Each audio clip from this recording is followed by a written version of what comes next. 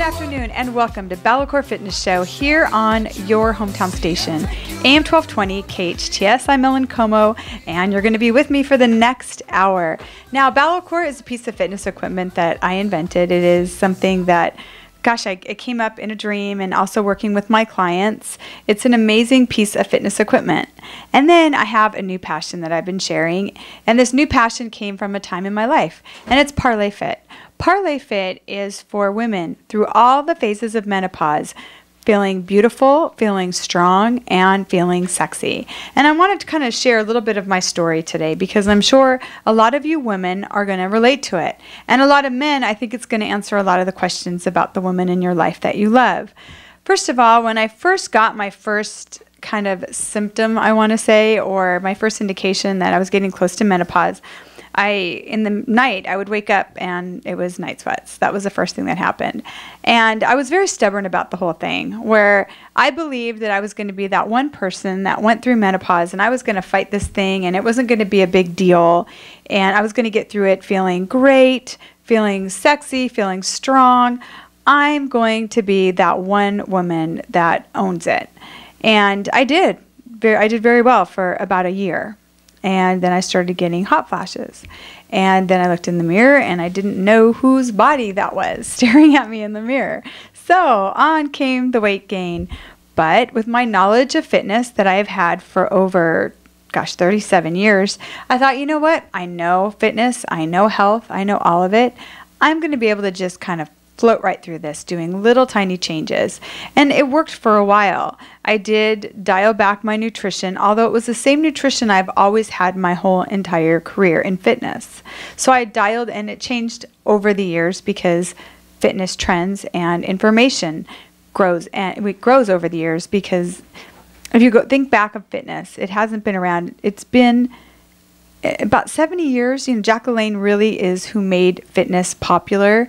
So it's not like it's a real old, old industry that I'm involved in. And nutrition has changed so much. If you go back to the 50s to the way they ate, and then that was only what, you know, 50 was 60 years ago. So if you, well, yeah, 60 years ago. If you go back and see how they ate then to how they eat now, again, it's been a very short span of time. It isn't like hundreds and hundreds of years ago where we had this different nutrition to today. So I thought with all the knowledge that I had over 37 years in this business, I could sail right through this doing the little tricks that I know.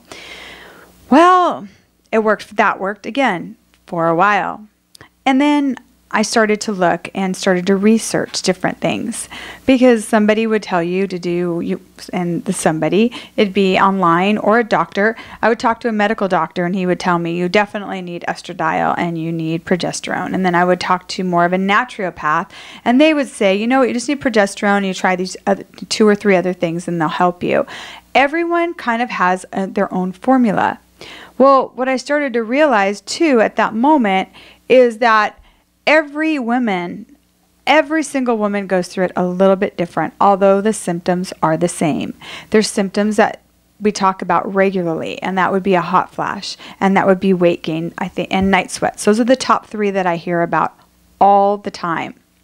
And so those are the three that I was focused on. I was focused on the weight gain, and then the hot flashes when they first started to come I thought, oh, this is easy breezy. So I get hot for a minute. You know, I, I can handle this. It wasn't that bad. Um, and then the night sweats, of course, you know, they wake me up and I'm like, oh, great, okay, and go back to sleep as soon as I cooled off. I never got to the point where I had to change my sheets, as I hear some women telling me about. But then I really started researching, you know, on the internet and talking to people around me and doctors and other women going through it. And there really was no basis of an, a place where we could all come together and really discuss this and really discuss what works for each individual woman and really discuss about weight gain, about having to try to stay asleep at night. Now, I have women that would come to my gym exhausted because they hadn't slept in a year, getting woken up. And they were having a lot of insomnia. Insomnia, yes, is a symptom of menopause. And it was really affecting every area of their life because sleep is one of the most important things that we can do to stay healthy, to stay fit, and to also stay on our game, no matter what that game is. Are you a stay-at-home mom, a lawyer? Do your own do you own your own business? Me, I own about two or three businesses that I'm working with. You need to be on your game all the time. And if you're not getting your rest, it's very hard for you to function on any great level. So that was a really big concern a lot of women were talking to me about. How do I get a good night's sleep? Okay, how do we do this, right?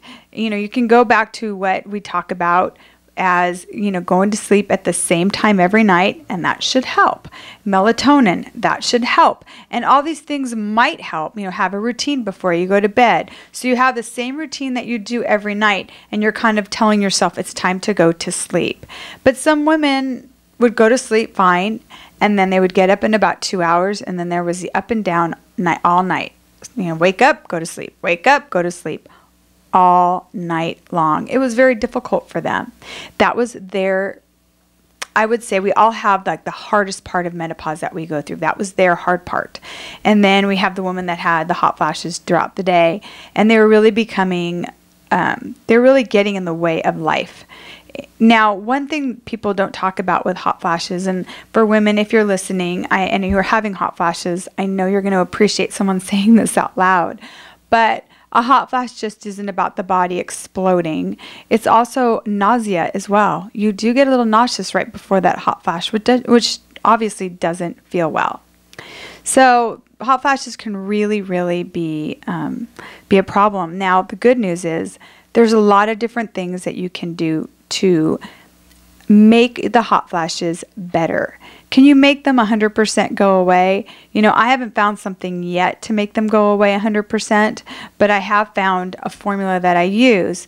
And talking to, it's funny, if you talk to a medical doctor, they will tell you if you take estradiol and progesterone, they'll go away. And if you're with a doctor and you want to go that route, that Western route, that is a route I would go. Go sit down, go talk to your doctor, and talk to him about estradiol. That's a big deal, big name in menopause, and it's helping a lot of women.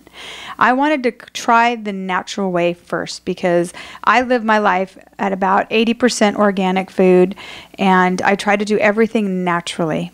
So that's something that's very important to me. That is a way of life to me, and I, something I didn't want to break out of because of this time of my life. So I talked to someone over at Valencia Wellness Center, which is out here locally in Santa Clarita. Very knowledgeable, everyone over there. And they gave me one or two things to try. One thing I tried didn't work, then I tried something else and it didn't work. And now they have something um, that Dr. McCullough has it out, and they have another brand, and it is it's a mushroom. It's pills made out of mushrooms, different mushrooms. Now they are helping me bring them down quite a bit naturally, and they're also bringing a little bit of the anxiety because what happens when you're going through menopause and all of your hormones are changing. If you're you, I know you're going to get this. You wake up in the morning, and you kind. Of, it's hard to to get up anyway because fatigue, again, very big part of menopause is fatigue. Do we talk about it? No, we don't. So I was struggling with fatigue and nausea and hot flashes. So, and also there's another thing nobody talks about, and I'm just going to be authentic and transparent today because we need to be. And diarrhea. I have all these things going on. I have no energy, and I am feeling just exhausted throughout the day and I have all these things going on, I'm thinking I'm really sick because I'm not reading anywhere that these are symptoms. I'm not reading that nausea is a symptom. I'm not reading that diarrhea is a symptom. I'm not reading this anywhere. Nobody's really giving me that information until I go in and I really dive in and start to do my research. And I find out extreme fatigue fatigue is absolutely one of and that's even if you're getting a good night's sleep by the way.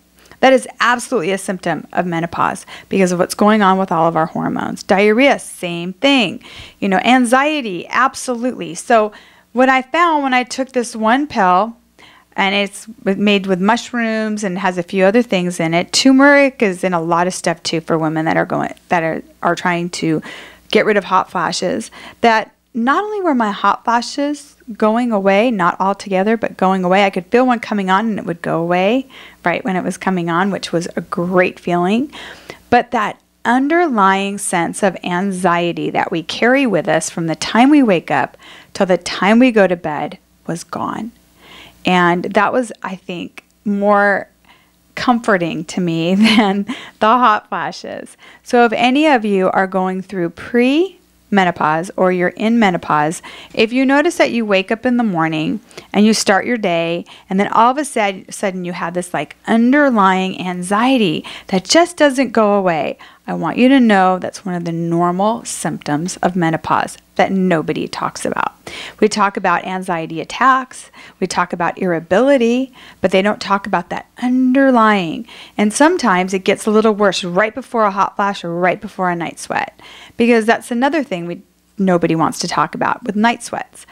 The night actual the night sweats is not what wakes you up. What wakes you up is that burst of anxiety that comes before the night sweat. So now you're thinking, okay, having an anxiety disorder. You don't have an anxiety disorder. What you have is a symptom of menopause. That's a symptom. And then I heard someone, I was talking to someone on the phone this week, and they had been on antidepressants because they were quote unquote clinically depressed. Now, depression again is from hormones and comes from one of the symptoms of menopause. So there is so many different symptoms of menopause that nobody talks about. So we're going off to doctors and we're trying to find solutions to these things thinking it's us. There's something wrong with us. We're sick. And that's why today the show is Menopause is No Joke because I thought I was going to get through it so easily. I thought I was going to sail through it. And all these other things start to boil up that I have no control over. There's sometimes my fatigue level is so low when I'm driving my car on the way to my evening classes that I teach. And thank God I am teaching these classes in the evening because I get energy when I get in the door and start moving. The fatigue is so bad that I'm really praying all the way to the gym, please, please be able to give me the energy to get through the next two hours. The fatigue is real and it's no joke. But the good news is, is if you can get moving around and get your mind off of it, you can kind of get through it. Now, I found one of my favorite things to do with fatigue is I take a cup of frozen cherries, and I talk about this all the time, a cup of or- organic frozen mango, and I also take about one square inch of fresh ginger. And obviously, I peel it and then I dice it and I throw it all in a bullet and then drink it. It gives me natural energy for about three hours. I put the ginger in there because it settles your stomach. Some people will have stomach irritation to cherries. I never have, don't want to make, and I really don't want to find out if I'm going to or not. And I love the taste of ginger. Ginger is really good for you. Spices are good for you. So that's what I do to try to get through my afternoons. So if you're a woman and you are struggling through the evening fatigue, I knew and talk to many women that get that mid afternoon fatigue and they start drinking coffee. And especially if you're having trouble falling asleep and staying asleep, do not have coffee in the afternoons because that's going to, even if it's decaf, you're going to have a problem and you're not going to be able to fall asleep and then you're going to have a harder time staying asleep. So we really need to dial back on the caffeine quite a bit. And caffeine is one known source of hot flashes, just so you know. Now, I, mean, it's okay to have it in the morning, but you want to stay away from it in the afternoon. And if you're having that fatigue, it's really a good time to have the shake that I'm talking about. It's a lot of natural sugars and get moving. That might be the time that you might want to set aside to go on a small walk doesn't need to be a big one, maybe 15, 20 minutes, but get moving because it's very, very easy to let that fatigue take you over and it can paralyze you. There's been a couple days where I haven't had to do anything in the afternoon and it's really paralyzed me where I'm literally sitting on the couch, so fatigued, and I know I want to get up and I want to clean out my closet or I have something, a goal that I want to do for the day. And this fatigue almost takes me over, paralyzes me, and I can't move. I'm like just sitting there. I can't do anything. And there's other times where I'll sit on my sofa just to have a glass of water and I wake up two hours later. I just fell asleep for two hours out of the middle of the day. That never happened to me before. I'd never had to take naps before. And I've got to say, this is again a hormonal thing. If it's going on with you right now and you're in the stages of menopause, it's normal. It is one of the symptoms. Now, that's something you can talk to your medical doctor about, Or, like I do, I, ch- I found something that gave me natural energy with my shake that I do mid afternoon as soon as I feel it coming on, and I have my energy to get through the rest of the day. So, that's something that you, you know, you can talk to your doctor or try that shake, see if it works for you. So, that's something that you're suffering with is fatigue. Nobody likes to feel fatigued, especially if you have a bit busy lifestyle and you have goals and you have passions. Because now is a great time for us to have to really follow our passions and to really find out what our gifts in life are and to share them. And it's pretty hard to share your passion when fatigue is, is paralyzing you and you're sitting on your sofa and you can't move. And then of course, getting a little absent minded we think, oh my gosh, you know, are we getting early onset of Alzheimer's? Can I tell you? I mean, that we won't know for sure. You can go to the doctor and check that out. But again, that's a very, very common part of menopause. It's a symptom of menopause your hormones changing. What I like to do is keep my mind fresh and alert. Whenever I go to the grocery store or I go to run errands, I have a list. I keep it in my car just for a lot, just in case I need it. But I count how many items I need at the store. And there might be 10, 11, 5, 6, and I go in with the number of 11 items. And then I remember all those items and I take them with me. And I do that to keep my mind alert and to keep thinking and to keep kind of guessing myself and giving me quizzes. And this is good for anybody to do.